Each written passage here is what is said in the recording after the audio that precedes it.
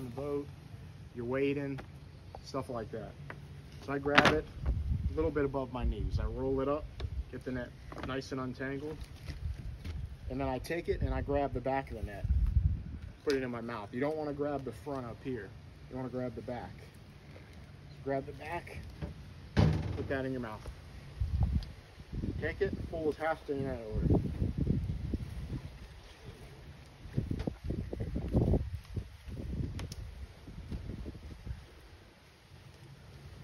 About half the net. Just like that. And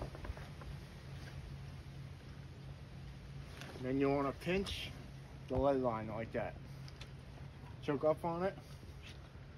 Alright. I'm going to throw it this way.